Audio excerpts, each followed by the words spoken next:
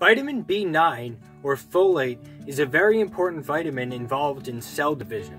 For this reason, it's very important for pregnant women to have enough folate in their system, because as the fetus develops and grows, many cells are dividing, and folate is very important in this process. Some studies have also shown that people who supplement with folate are less likely to have cardiovascular problems, stroke, and even cancer. However, in people that have already developed cancer, there's a protocol called anti-folate therapy. Because cancer cells divide rapidly, and since folate is involved in cell division, folate is decreased in an attempt to slow down the cancer's growth rate.